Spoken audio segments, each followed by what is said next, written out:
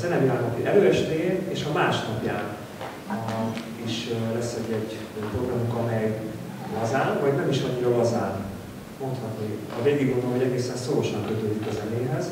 A Zenevilág alkalmából Szabó Zsolt Szilveszter nyitotta meg Kis Tamás kar nagy vetítéssel egybekötött előadássorozatát Gyenes Diáson a Községházán. Hozzátette a zenetanárral a munkakapcsolatuk már több mint tíz éves múltra tekint vissza. Mondhatom, hogy talán már évtizedes a mi jó kapcsolatunk és jó barátságunk.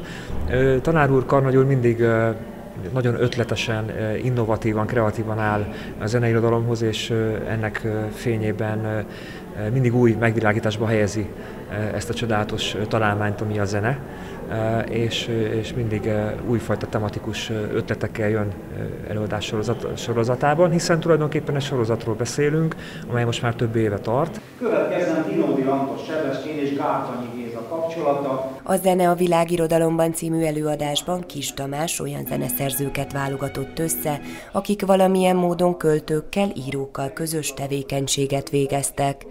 Többek között szó esett Vivaldiról, aki nem csak zeneszerző volt, hanem költő is.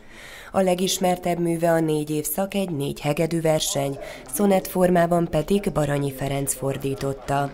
Beszél továbbá Goethe és Beethoven kapcsolatáról is. Gyenes Diáson most már negyedik éve, hogy előadásokat tartok, de nem csak Gyenes Diáson, természetesen a környéken is. És nem csak felnőtteknek, hanem gyerekeknek is szólnak ezek az előadások.